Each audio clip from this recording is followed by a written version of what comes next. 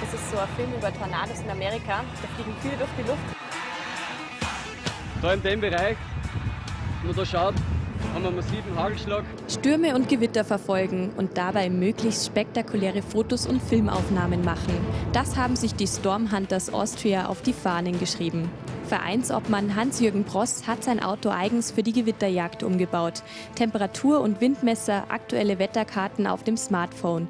Vier Kameras halten alles fest und heute auch wir.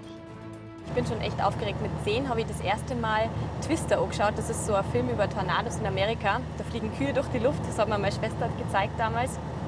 Ja, übrigens darf es mich interessieren, ob der Hans-Jürgen schon mal Strafzettel gekriegt hat bei einer Gewitterjagd. Wir rasen hier nämlich ganz schön flott über die Autobahn. Jede Minute zählt eben auf der Jagd nach den perfekten Unwetterfotos. Nach gut einer Stunde Fahrt sind wir in Wiener Neustadt.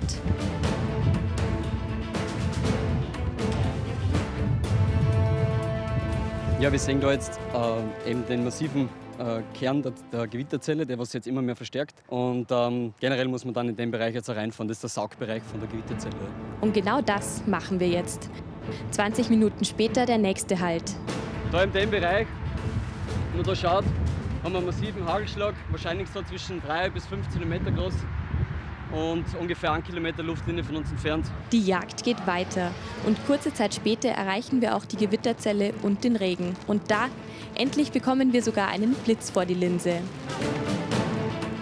Erfolg, aber auch Misserfolg liegen bei den Stormhunters und uns Metrologen eng beieinander.